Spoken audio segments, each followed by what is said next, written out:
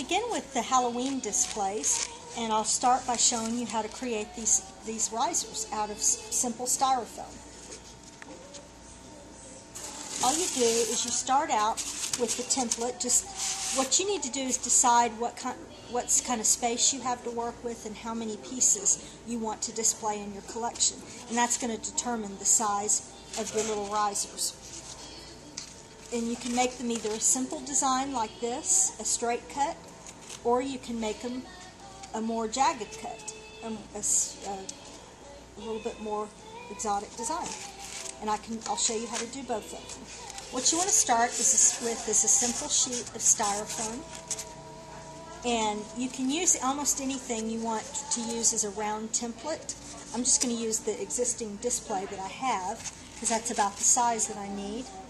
And you want to take a pencil or a marker and you want to trace out your shape that you want to make on the styrofoam.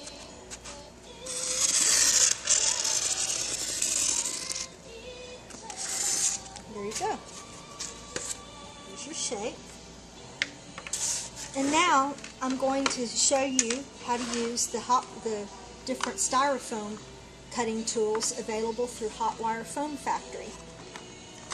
We here at Hamlin Pharmacy we carry two different they're two best-selling pieces. This one is the sculpting tool, and it is the most popular one that they sell.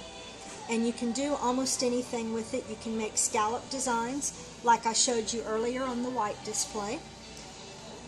And, or you can also make straight cuts with it. This one is called a hot knife, this tool. And what's nice about this tool is it's literally, like the name says, a hot knife. You can make you can slice and dice with it, make straight cuts. It's the best tool to use to make straight cuts with. And I'm going to cut out this shape in this, in this piece of foam with this hot knife. And a nice thing about it too is you can make holes with it. Because on our big displays over here, we have a number of holes to thread our cords, the, the different light cords through. And when I refurbished the displays, I had to cut some new holes. And this was the tool that I used. I went through a couple of different blades when I was doing that. So let me go ahead and plug it in and get, get it warmed up and I'll show you how to style your, your um, Halloween piece. Switch it on. Got to wait a few minutes for it to warm up.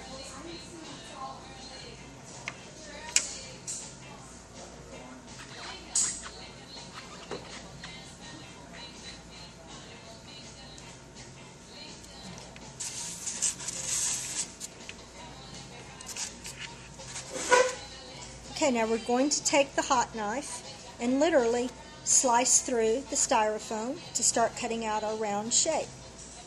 You see how this makes nice straight cuts? Mm. Just follow along the, li the line you drew with either your pencil or a marker.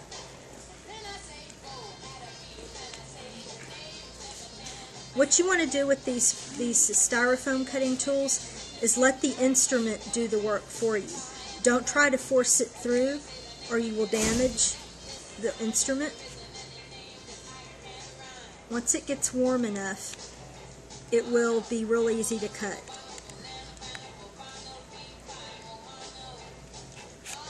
Pick it up off the table so it'll go a little bit faster.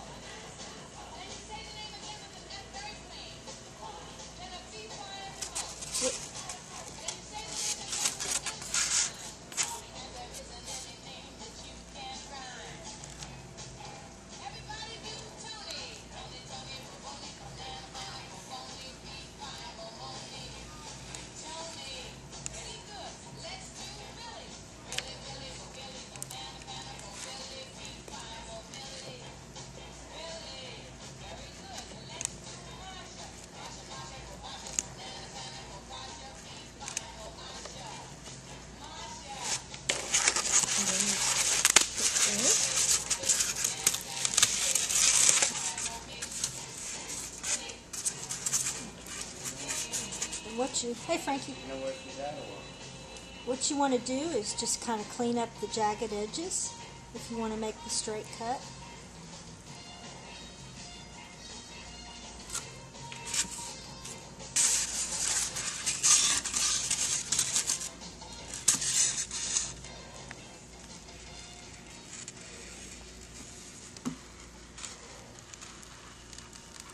Should an angle of like here. We're taping. Shh.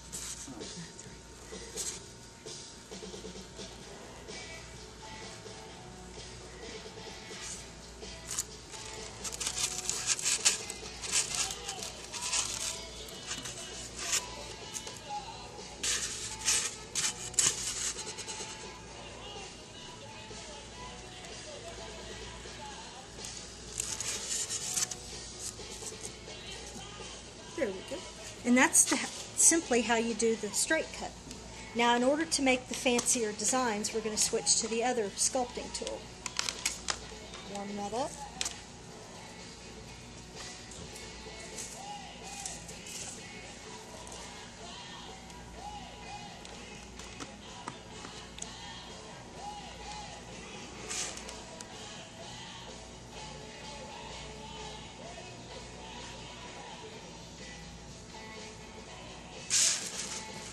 Take the sculpting tool if you want to make the more scalloped edges.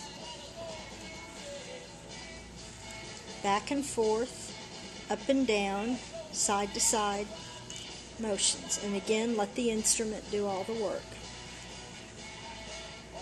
Don't try to force the blade through. If you're having difficulty pulling the blade through, you probably need to turn up the heat a little bit.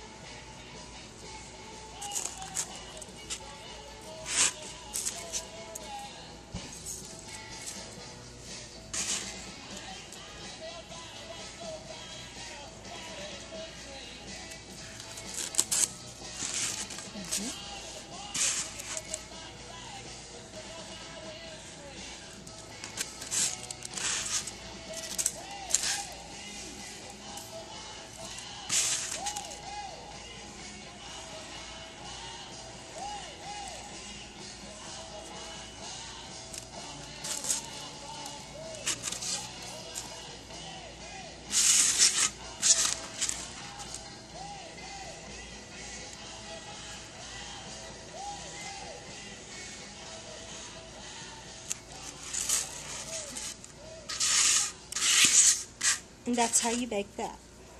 We will finish it up by painting it black. And you can, of course, you can use any color you want. There's, you know, don't you don't have to be strict about the color. But for best, I found that for best results, I used uh, on, especially on our displays here at the store, in order to really make the piece, the individual pieces pop. I found that a high gloss black paint works best for Halloween and you can ask for any finish you want but paint is a pretty cheap solution so inexpensive solution. So um, just go to your paint counter at your local paint store paint or hardware store and you don't have to get a, a, a huge can. This is just a little quart size can and um, just ask them for a high gloss finish black paint and get you the most the least expensive brand and sometimes some of the stores, especially the bigger chains, have their own in-house brands that are really inexpensive. And here we go with the paint. You see how that high gloss finish is already making a huge difference. And I like these sponge paint brushes because they really get the paint inside the little nooks and crannies in, in the styrofoam. I find that they work best for that purpose and a package, your local dollar store or um, you know discount store will sell these by the packages for one or two dollars. So again, it's an inexpensive way to solution for decorating for the holidays. But you see how this sponge paintbrush is getting inside those little nooks and crannies and getting that coverage really well. And like I said, you see how this glossy glossy paint is really making a huge difference. And here is what the finished product looks like.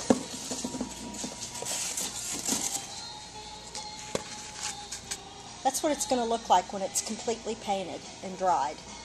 And you want to make sure, you want to leave your uh, platforms that you paint, the pieces that you paint, out at least overnight before you attempt to put any, any of your uh, village pieces on top of it, just so that the paint doesn't stick to the piece. And, um, you know, it, you don't want to damage any of your pieces.